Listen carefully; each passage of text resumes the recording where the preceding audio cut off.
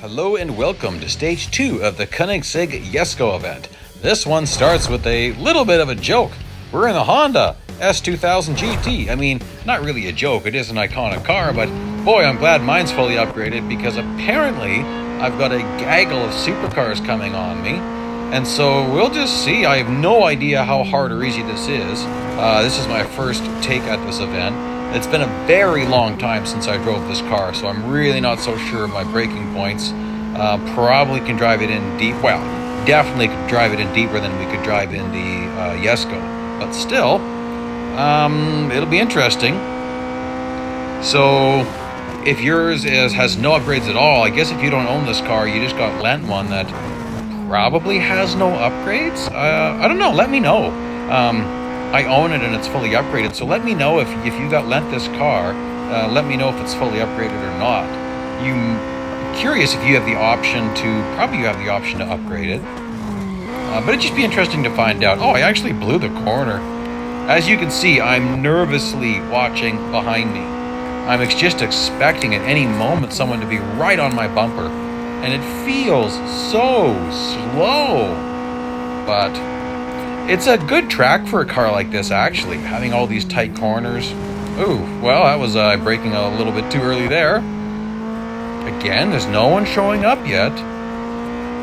It's an interesting challenge to drive forwards while you are looking backwards. You have to pay attention to the track and pay attention to the track, I should say, and kind of move opposite of the way you want to go. Feels very strange. I guess I could just stick this in driver view.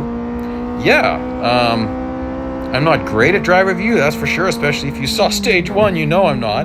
But this is a pretty slow car, so I don't think it'll be difficult, and a very predictable car. So if you take normal braking points here, you'll be more than fine.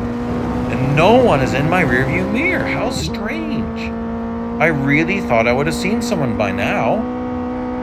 Again, maybe it's because I'm fully upgraded, so maybe I just have nothing to worry about?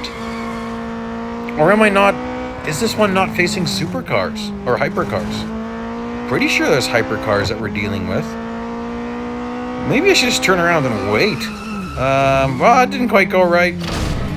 Oh well, there we go. Went across the uh, start-finish line backwards.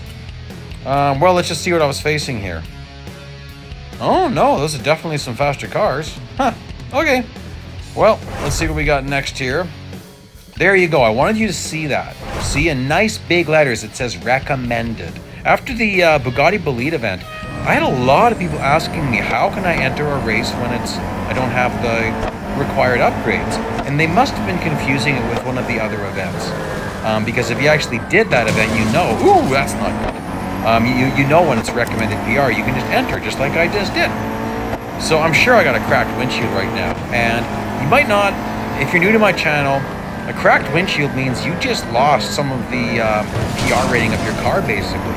Like, it doesn't show up that way, but as soon as you have a cracked windshield, I mean, I thought, who cares at this point? Uh, cracked windshield means that you lost top speed, uh, acceleration, brakes, and grip. And there's two stages of damage. So once you get maximum damage, you really can't get damaged anymore, so who really cares? So at this point, I'm going to catch up to these guys and I might do some uh, smash and pass. Actually took me a bit to pass this stage because I was really messing up the braking points. So, well, I think this is my second or third attempt. You can see a horribly cracked windshield, so I'm not really going to care. Smash him, let him go drifting. Oh, and I'm going to follow the leader. Oh, That's no good. Okay, well, one interesting thing of Red Bull Ring, the bots take the first corner very bad. They do not optimize the first corner. Something about sharp corners make this makes them really overbrake a lot, so just watch this. I took that pretty good. So, I mean, could have been a little bit better, but that's actually pretty good. You want to get on the brakes a little bit early, and then you can be on the gas before you're even at the apex at that particular corner. And I'm going to get a little nasty to that Hennessy Venom, and have nothing really to worry about. Although, I'll reel him back in a bit. Now that we are below recommended PR, it's impossible to slow down the bots. All you can do is manage them. And managing bots means don't finish higher than you have to. Try to keep your what you're doing to the minimum. I have to win this race, but I can slow the laps down a little bit. I'm not going to go crazy with that. And make sure that the second place spot's pretty close to me. This thing's interesting. Um, it does have decent grip, but you can really throw it around. These hypercars are very willing to break free. You stay behind me, you nasty little venom. Good lesson in blocking. There we go. And I'm going to reel him back in at the end here, and that'll be uh, that'll be it for this race. So far, very easy stage two. Usually stage one and stage two are just easy, but that's not gonna last. Here we are. You gotta lead, lead with 100 meters, and gosh, this is challenging. A Venom F5. I mean, that's no joke of a car. Now, this track is really not suited to hypercars, but honestly, uh, and by the way, this is a no joke. This is old school. Remember me mentioning old school? Okay, I gently grinded against that guy without shoving him off track. This is old school. If you're off track for a fraction of a second, boom, you fail. If you get too much contact, boom, you fail. That's old school. And honestly, guys, I've missed the old school difficulty. I hope it continues on. Interestingly enough, these type of events can create a lot of complaints from racers because people will complain, I bought all these upgrades and I still couldn't win the car.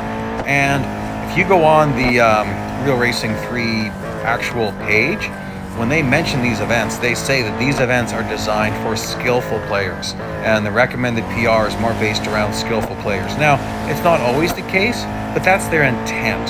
These are meant for players who are more more experienced in the game, I'd say, like intermediate level and above. So, if you're a newer player, um, you're probably going to need recommended PR at least. And the, the required PR events, those are more just for whoever. Now, I'm doing pretty good because that's a Hennessy Venom F5. And so he's going to be breaking, his brakes are worse than mine. Uh, these cars are feel so restricted at this particular track. Because you just spend so much time on the brakes. Now I do have to finish with at least a 100 meter lead.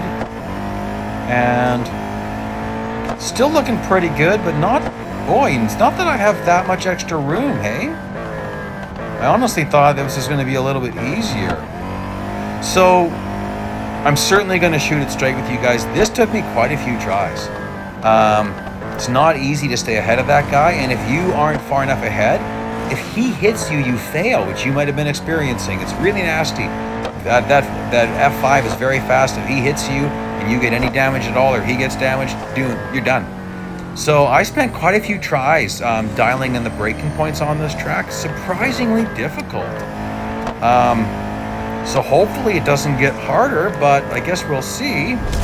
There, I was able to slow down a little bit at the end there because I had a bit more lead than I needed. Again, you want to keep it just kind of to the bare minimum. So what are we facing now? Oh, great. A Valkyrie. Oh boy, that means uh, great acceleration and grip. Okay, well, I'm going to tell you something, guys. I embarrassingly spent a good half hour here, and I'll, I'll, I'll explain that in a sec. So, if you've been around my channel in the past, you've heard me say this so many times. Always read the description carefully. I failed to do that. I thought I had to win this race with at least a 100 meter lead. So, it's not hard to get to the lead in this race. The hard part's coming up. But I kept thinking I had to have at least a 100 meter lead. So I accomplished that. I had this nice big lead, and then I went, wait a second, what's the race description? And I paused the game and looked, and I went, ah, nuts. I didn't want to finish with a massive lead, and then I messed up trying to reel that um, that Valkyrie back in, so I had to give it a few more shots. Anyhow, so that now it gets really hard through the curvy section of this track that we went through. That's where the Valkyrie really gets on your tail, like like here. But don't you worry, once you clear this part here, by the way, this is another old school stage. Instant fail if you go off track, like no grace at all. Get on the brakes early here. Let's talk braking points a bit. Brakes before the first distance marker. All right. And then there's going to be some, uh, there's going to be an overhead banner, not this overhead banner. Uh, next overhead banner, you better get on the brakes just before it and you're on the brakes, you're on the brakes, you're on the brakes, you're on the brakes, swing a little wide into that gas. Then there's distance markers on the left. You need to be on the brakes at least four, maybe six car lengths before that distance marker. And you're on the and you're going downhill. And you got it because you want to be in the gas here at the apex, right? Now, distance markers are on the right. You want to brake between the second and third. So right in this area here, turn nicely. Watch the uh, curb on the right, the uh, white-red curb braking before it ends. Into the throttle again here. Okay, and then on your left, you're going to be watching for the distance markers on your left. Second distance marker is when you want to get on the brakes if you're like me with no upgrades at all. And then watch on the left for where the right ends and where the grass is. That's about where I was braking. And there you go. That's my braking points for these uh, race three and four. And I'll reel this guy in a bit. There we go. Not a problem, really. So there you go. Uh, please like, please subscribe. Playlist link will be showing up here in a bit. Uh, you can see I've got no upgrades. And thanks for joining me. Race you later.